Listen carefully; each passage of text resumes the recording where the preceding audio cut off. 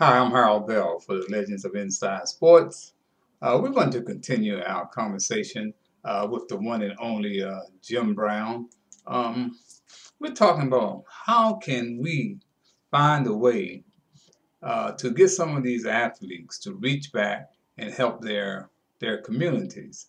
And I'm in the process of telling Jim that I was in Miami for the NBA All Star game, and uh, I attended uh, the Players Association, NBA Players Association meeting and exactly what transpired. I want you to hear this conversation. So stay tuned. I'll be right back. Yeah. You know, Magic Johnson.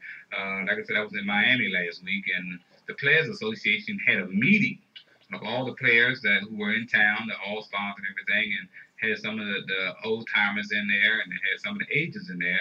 And Charlie Grantham, who heads the the NBA Players Association, uh, stood up and made a proposal to all the players that he wanted all the agents' contracts audited to make sure that they were only taking the 4% that they were supposed to get. Well, a guy by the name of David Falk from uh, from uh, ProServ stood up and said that he thought this was uh, totally unfair. There was no need for this. Now, if you're doing what you're supposed to do and you're taking the 4%, no problem.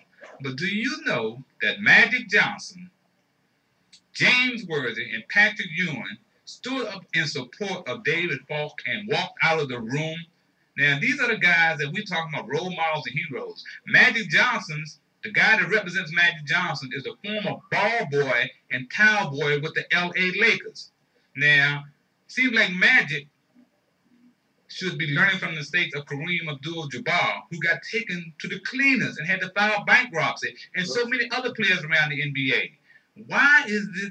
These guys seem to be living in a twilight zone, uh, Jim. They seem like this. They think that this stuff is going to last forever, man. And I was very disappointed because uh, Isiah Thomas tried to stop Magic from walking out, and you know Isiah is his main man. Said Magic, we got other things to discuss. Magic said he had to go and feed his family, that he didn't have time for this mess. So those are the kind of things that are happening, man, that the public are not made aware of, and uh, we need to get our act together. And I don't see us getting together with the likes of Magic Johnson and the Sugar Ray Leonard and them, man. We in big trouble, Jim. Well, I'm sure uh, that I wanted to tell that story because I think you told it to me before. Mm-hmm. And it is an example of the things we have to face. And I would like to say to your public, uh, Harold, it's no longer uh, in vogue where we say, look, brothers, you can't talk about each other because, mm-hmm. no, no, no. See, talking about each other is not what we're doing. We're pointing out the things that are detrimental to a race of people. Because how can we as a race of people cry the blues to the white man about not hiring us, not allowing us to uh, coach in his on his team and all of these things when he has right under him an example of young men who do not care, do not understand how to reinvest and to stimulate black economics. Mm-hmm. Jim, another good example to what's happening to uh, us in this country is that by the year 2000, Jim, we're not even going to be, uh, we're going to be third class. Uh, the Hispanics are going to be the number one minority in this country. That means all the monies that we've been getting, receiving from the government are going to minorities. Now, we got the 1990 census coming up. And uh, another example of Miami again. There were several uh, uh, per athletic personalities that I approached in Miami about doing a spill for the Census Bureau, since I'm doing some PR for Census and working for them for the 1990 Census, I approached several players and uh, guys like Warren Moon was very cooperative, K.C. Jones, uh, let's see who else, uh, Earl Monroe, uh, Olden Polynice. And all this is is a, a, PSA to say, hey, brothers and sisters, we need to be counted in the 1990 census because it can help, it, it provide better roads in your community, help get your daycare centers, help for better hospital care, uh, more law enforcement. If you're not counting it, don't give them an excuse to say, well, they weren't counting, we can't give them the money. So anyway, I think Michael Jordan is an outstanding brother. I think he's a great brother. I think he, his heart is in the right place. But Jim, when you got people around you, so-called handkerchief heads, as I call them, who don't pull your coattail, Michael cannot do everything, but there are certain things that he needs to do. And like the, the PSA is a good example. Michael said that he couldn't do the PSA because it interfered with his Wheaties contract and Nike contract.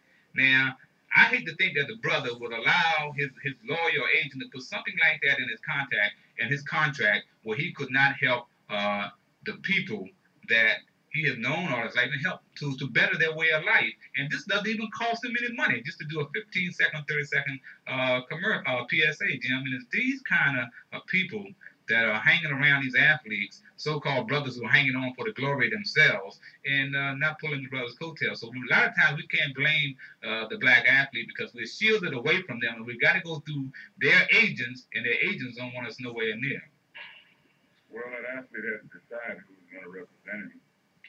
And I'm sure that uh, a lot of our athletes do read a newspaper each day or listen to TV, listen to the news.